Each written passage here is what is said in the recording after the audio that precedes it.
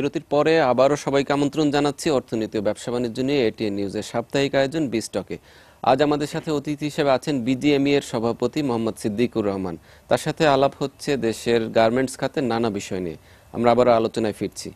আপনি বিরতির আগে বলছিলেন যে চায়না থেকে কিছু কিছু বিনিয়োগ আমাদের এখানে আসার সম্ভাবনা ছিল, যেহেতু চায়নাতে সম্ভবত লেবার কস্ট অনেক বেড়ে গিয়েছে, সেই সুবিধাটা আমরা বোধহয় নিতে পারতাম।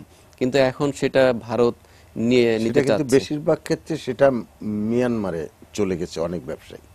কারণ মিয়ানমারে নতুন করে ইন্ডাস্ট্রিগুলো হচ্ছে এবং তাদের ওখানে আগে থেকেও ছিল কিছু বাট এখন কিন্তু খুব বেশি তাদের ওখানে ইনভেস্টাররা যারা চাইনিজ বা কোরিয়ান বা জাপানিজ যারা ইনভেস্ট করতে বাংলাদেশে আগ্রহ দেখিয়েছিল তারা ওখানে ইনভেস্ট করছে। কেউ কেউ ইন্ডিয়াও কিন্তু অনেক লার্জ স্কেলে ইনভেস্ট করতেছে। তো সেই ক্ষেত্রে আমরা পারিনি কেন পারিনি আমাদের গ্যাস বিদ্যুতের স্বল্পতার জন্য। বিশেষ করে গার্মেন্টস ইন্ডাস্ট্রিতে ওয়াশিং এবং ডাইং একটা মোস্ট ইম্পর্টেন্ট খাত। সেখানে যদি গ্যাস না দেওয়া যায়, তাহলেই সমস্যা। সেই সমস্যাটা আমরা কিন্তু মোকাবিলা করতে পারছি না। এখনও আমাদের গ্যাসের স্বল্পতা রয়েছে। আমরাও জানি গ্যাস একটা আপনি চাইলেই কালকে দিয়ে দিতে পারবেন না। সেই গ্যাসের জন্য যে এলএনজি টার্মিনাল হওয়ার কথা, সেটা অনেক আগের থেকেই আলাপ হয়েছিল, কিন্তু এখন পর্যন্ত সেগুলো হয় নাই। সেগুলো যখন হবে, তখন আবার আমরা গ্যাস, এখন যেরকম স্বল্পতা আছে, সেটা আমরা হয়তো পাবো।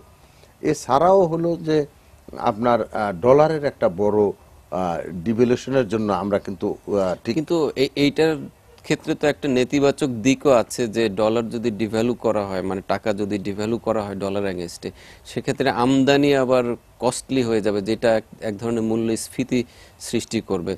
তো এই কারণে অর্থনীতিবিদরা সাধারণত মানে দুই দিকেরই এক ধরনের ভারসাম্য রক্ষা করার কথা বলেন। করবে সেই ভারসাম্যটাই রক্ষা করা হচ্ছে না একদিকে চলে যাচ্ছে।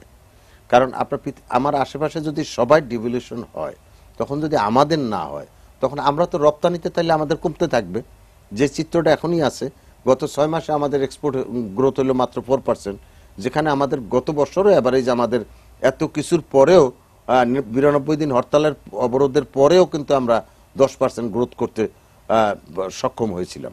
সেখানে এখন কিন্তু এই বছর এসে কিন্তু আমরা মাত্র ফোর পার্সেন্ট গ্রোথ তো আমরা ডলারের ডিভিলেশন যেমন আমদানির ক্ষেত্রে এফেক্টিভ হবে, সেরকম রপ্তানির ক্ষেত্রেও তো এফেক্টিভ হবে। যে আমদানির ক্ষেত্রে আমরা যেটা মেনলি আমরা যেটা আমদানি করতাম, আমাদের কিন্তু খাদ্যে এখন সেরকম কোনো রকমের ইম্পোর্ট বড় করতে হয় না। চাউলে আমরা স্বয়ংসম্পূর্ণ এখন, যেখানে আমরা চাউল এক্সপোর্টই করতে পারতেছি। তেলের দাম বাজারে বিশ্বে কম আছে এখন। সেই জন্য আমার মনে হয় না যে ডলারের যদি ডিভ্যালুয়েশন করা হয় মার্কেটের উপরে যদি ছেড়ে দেওয়া হয়, তাহলে যে খুব একটা ক্ষতি হবে আমাদের, আমার কাছে সেটা মনে হয় না। কারণ তা না হলে তো আপনার রেমিটেন্সও কমে যাচ্ছে। কারণ রেমিটেন্স আপনি দেখেন বাজারে ডলারের যা দাম, আর আপনার ব্যাংকের রেটের মধ্যে প্রায় পাঁচ টাকার মতো চার পাঁচ টাকার মতো ডিফারেন্স হয়ে যাচ্ছে।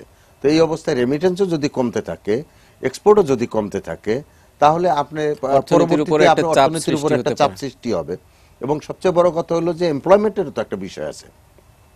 রেমিটেন্স কমা এবং এই যে মনে করেন গার্মেন্টস খাতে যাদেরকে আমরা কর্মসংস্থান করতে পারি তাদেরকে কিন্তু আপনি অন্য কোনো জায়গায় কর্মসংস্থান করতে পারছেন না। কারণ তারা মোটামুটিভাবে গ্রামের থেকে আসে এবং তারাই এখানে চাকরিটা পায়। এরা কিন্তু এর বিকল্প যে কোথাও গিয়ে চাকরি করবে, এরকম কিন্তু পরিস্থিতি না। এবং এর মধ্যে বেশিরভাগ হলো মহিলা। প্রায় এইট্টি পার্সেন্ট হলো মহিলারা কাজ করে। তো এদেরকে আপনি জবটা কোথায় দেবেন? তো যেহেতু এমপ্লয়মেন্ট একটা বড় জিনিস, আমরা যেহেতু দুই হাজার একুশ সালের মধ্যে মাননীয় প্রধানমন্ত্রী বলেছেন যে দুই হাজার একুশ সালের মধ্যে আমরা মধ্যমায়ের দেশে যাব। তো মধ্যমায়ের দেশে যেতে হলে যে যে যে জায়গায় আমাদের উন্নতি করতে হবে হ্যাঁ আমাদের সব উ- ভালো পর্যায়ে আছে। কিন্তু আমাদের ইম্পোর্ট এক্সপোর্ট এবং যদি রেমিটেন্স কমে যায় সেই ক্ষেত্রে কিন্তু আমাদের অর্থনীতির উপরে কিন্তু এছাড়া তো আপনাদের একটা। টার্গেটও আছে যে পঞ্চাশ বিলিয়ন ডলারের রপ্তানির একটা লক্ষ্যমাত্রাও আপনাদের সামনে আছে। মধ্যমায়ের দেশ হতে গেলে তো এই ধরনের আয় করতে হবে। যদি আমরা সেটা না করতে পারি তাহলে তো আমাদের একটা টার্গেট সেট ছিল যে দুই হাজার একুশ সালের মধ্যে যখন দেশ মধ্যমার দেশে যাবে তখন আমরাও এই রপ্তানি এই আরএমজি খাত থেকে পঞ্চাশ বিলিয়ন বিলিয়ন ডলার আয় করতে হবে। কিন্তু আমরা- করার জন্য যে সব সহযোগিতা লাগবে সেগুলো তো আমাদেরকে লাগ- দিতে হবে। হ্যাঁ আরেকটা প্রবণতা আমরা দেখছি যে অনেক মানে বাংলাদেশি উদ্যোক্তা যারা খুবই সফল আমাদের তৈরি পোশাক খাতে তারা অনেকেই আবার বিদেশে বিনিয়োগ করতে চান। তারা এখান থেকে ক্যাপিটাল দেশের বাইরে নিয়ে যেতে চান এক ধরনের অনুমতি সরকারের কাছে বিভিন্ন সময় তারা করেছেন। এইটা আসলে কেন? দেশে কি বিনিয়োগের সুযোগ সীমিত এই কারণে নাকি বিদেশে বেশি সুবিধা? আসলে না চিত্রটা না এটা হলো যে যদি আপনি মাল্টি ন্যাশনাল বিজনেস করেন তখন আপনার ক্যাপাসিটিটা একটু বায়ারের কাছে আপনার এই অ্যাকসেপ্টেবিলিটিটা একটু বাড়ে। আমার মনে হয় যে এটা কিন্তু ক্যাপিটাল বাইরে চলে যাবে যে শুধু তা না ক্যাপিটাল চলে যাবে আবার ইনকামটা তো দেশে আসবে। সেই জন্য এটা আস্তে আস্তে যদি আমরা সেই পর্যায়ে না যাই, যেমন আপনি আমার পার্শ্ববর্তী দেশ ইন্ডিয়াই দেখেন না, তারা কিন্তু বিভিন্ন দেশে ব্যবসা করতেছে, চাইনিজরা করছে, সবাই কিন্তু কোরিয়ানরা করছে, জাপানিজরা করছে, সবাই কিন্তু মাল্টি ন্যাশনাল ব্যবসা বিভিন্ন জায়গায় করে যাচ্ছে। আপনার যখন মনে করেন যে আপনিও যখন আজকে যদি ইন্ডিয়া বা ভিয়েতনাম বা যেখানে আপনি ইনভেস্ট করেন না কেন, বা ইভেন ইথিওপিয়া খুবই চেষ্টা করতেছে, যদি ইথিওপিয়া আপনি ইনভেস্ট করেন, আপনার কিন্তু ক্যাপিটাল নিয়ে গেলেও আবার কিন্তু রিটার্নটা আপনার দেশেই আসতেছে। এবং বায়ারের কাছে বা যে কোনো ব্যবসায়ী, ব্যবসা করতে গেলে যখন আপনি করবেন আপনার একটু আপার হ্যান্ডে থাকবেন যে হ্যাঁ বাংলাদেশ থেকে যদি আমার এই প্রোডাক্টটা না দিতে পারে, তাহলে সে ইউটিউবের থেকে বা তার অন্য যে জায়গায় অপশন আছে, সেখান থেকে সে দিতে পারবে। এই বিশ্বাসটা, আস্থাটা বায়ারের বেশি পাওয়া যায়। আর এমনি সেক্ষেত্রে আমাদের স্থানীয় যে বিনিয়োগ, আমরা তো প্রায় দেখি যে আমরা বিনিয়োগ হাঙ্গরি আমরা চাই যে বিদেশি বিনিয়োগ আসুক। কিন্তু আমাদের স্থানীয় উদ্যোক্তারা বিদেশে বিনিয়োগ করতে চান। মানে আর একটা বিপরীত চিত্র এখানে তৈরি হচ্ছে। তো দেশে আসলে বিনিয়োগের সামগ্রিকভাবে পরিবেশটা কেমন মনে হয়? কেন বিনিয়োগের ক্ষেত্রে এক ধরনের স্ট্যাগনেশন আমরা দেখি? বিনিয়োগ কেন বাড়ছে না? আপনার কি মত? বিনিয়োগ আমাদের এখানে কম হচ্ছে। এটার মেইন কারণ হলো আগে দেখেন ব্যাংকের ইন্টারেস্ট রেটটা ছিল চোদ্দ পনেরো পার্সেন্ট কিন্তু এখন অনেকটা তো কমে গিয়েছে। এখন অনেকটা কমেছে দশ পার্সেন্টের কাছাকাছি এসেছে কিন্তু দশ পার্সেন্টও সবার জন্য না। তবে ব্যাংক খাতে ব্যাংকিং খাতে অনেকটাই এখন প্রাইভেট ব্যাংকগুলো বেশ ভালো করছে এবং তারা আমরাও তাদের কাছ থেকে সার্ভিসটা ভালো পাচ্ছি। কিন্তু এখানে ব্যাংক ইন্টারেস্ট রেটটা আরও কমাতে হবে। কিন্তু যারা ভালো উদ্যোক্তা মানে আমরা জানি তারা কিন্তু দশ পার্সেন্ট না, কেউ কেউ তাদের এমন বার্গেনিং পাওয়ার আছে, তারা কিন্তু এর থেকে অনেক কম রেটেই কিন্তু ব্যাংক থেকে বড় করছে। না, খুব কম রেটে না, হয়তো কেউ নয় পার্সেন্ট পর্যন্ত পাইতে পারে। এর নিচে গেছে বলে আমি শুনিনি। হয়তো খুব বার্গেনিং ক্যাপাসিটি বা যার গত তিরিশ বছর যার কোনো রকমের কোনো ডিফল্ট বা কোনো খারাপ কিছু ছিল না, তাদের বেলায় হয়তো নয় দশ পার্সেন্ট পর্যন্ত পাওয়া যাচ্ছে। কিন্তু আসলে যদি আপনাকে নতুন ইনভেস্টরকে যদি আপনি সুযোগ করে না দিতে পারেন, তাহলে তো ওই যে পুরানো ইনভেস্টমেন্ট যে করেছে, সে যদি সুযোগ সুবিধাটা পায়ও, সেটা তো আমার সমাজের খুব একটা কাজে লাগছে না। কারণ একজন আর কত ইনভেস্ট করবে? যারা ওইরকম পর্যায়ে আছেন, যারা ব্যাংকের সাথে বার্গেনিং ওইভাবে করতে পারেন, তারা তো করতেই আছেন। তারা তো আর অত বেশি করবেন নতুন উদ্যোক্তা যদি সৃষ্টি করা না যায়, নতুন যারা ব্যবসায় আসবে, তারা যদি না আসতে পারে, তাহলে তো আপনার ব্যবসা ওইভাবে বাড়বে না। সেই জন্য আমি মনে করি যে নতুন উদ্যোক্তাদেরকেও একটু সুযোগ সুবিধা দেওয়া দরকার ব্যাংকিং সাইড থেকে।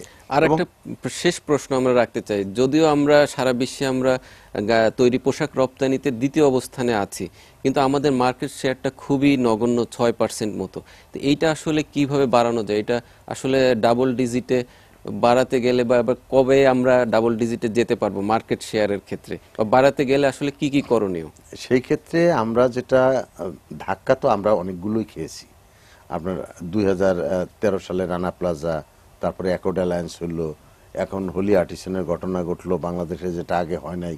তো এই সব জিনিসগুলো আমরা কাটিয়ে উঠছি। এর আগে পলিটিক্যাল সবসময় একটা প্রবলেম থাকতো। সেই পলিটিক্যাল প্রবলেমটা এখন আর নাই। এখন সামনে আবার ইলেকশন আসতেছে।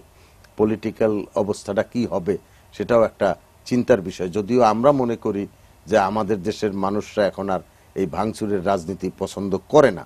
কিন্তু বিদেশিদেরকে তো বুঝাইতে হইলে তারা তো সেটা মানে না। তারা তো সবসময় বলে যে প্রতি পাঁচ বছর পরে তোমাদের এখানে একটা একটা বছর তোমাদের এখানে একটা সমস্যা যায়। তো সেই জন্য কনফিডেন্স গ্রো করার জন্য আমরা চেষ্টা করে যাচ্ছি। তাদেরকে বলছি যে আমরা দেখো এখন পলিটিক্যালি আমরা স্টেবল অবস্থার মধ্যে আছি।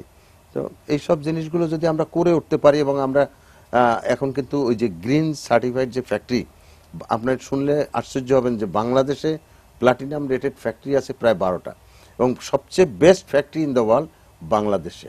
বেস্ট টেক্সটাইল মিল বাংলাদেশে, বেস্ট ওয়াশিং ফ্যাক্টরি বাংলাদেশে। তো আমরা কিন্তু গ্রিন কনসেপ্ট, যে ইউনাইটেড স্টেটস যে গ্রিন কাউন্সিল আছে, তাদের যে সার্টিফাইড ফ্যাক্টরি, সেটা কিন্তু আমাদের এখন প্রায় দুশো আশিটা ফ্যাক্টরি পাইপলাইনে আছে এবং প্রায় ছত্রিশটা ফ্যাক্টরি এখন কিন্তু ইয়ে চালু আছে।